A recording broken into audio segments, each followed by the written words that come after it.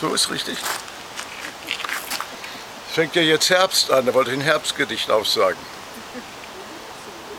Wenn Blätter von den Bäumen stürzen, die Tage täglich sich verkürzen, nicht nur die schönsten, auch die meisten der Vögel in das Ausland reißen, wenn alle Maden, Motten, Mücken, die wir vergaßen zu zerdrücken, von selber starben, dann glaubt mir, dann steht der Winter vor der Tür. Das Entstehen, ich habe die Tür verriegelt und fest zugeschlossen.